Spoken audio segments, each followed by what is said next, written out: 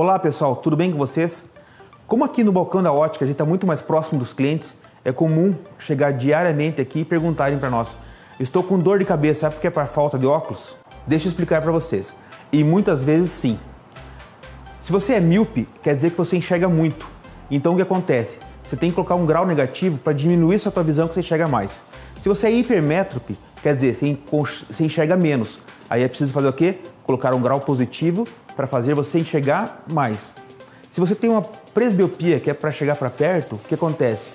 É preciso fazer um óculos para compensar o músculo ciliar que está trabalhando mais. Ou seja, você deve sim ter algum problema de visão. E o que você tem que fazer? Procurar um profissional, um oftalmologista, para que ele te indique o grau certinho para compensar essa tua necessidade.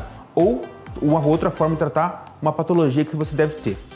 Se você está com dificuldade de marcar sua consulta pelos órgãos públicos ou não tem o plano de saúde, nos procure aqui da Ótica Curitiba, que nós temos alguns parceiros e você vai marcar a sua consulta particular com um preço super acessível. Não é venda casada, a gente está passando exclusivamente repassando um voucher de desconto.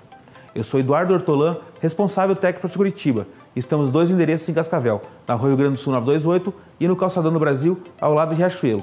Se você tem algum amigo ou você mesmo passa por essa situação de dor de cabeça, e muita irritação no seu olho, nos procure ou compartilhe com seus amigos nas nossas redes sociais. Valeu, grande abraço!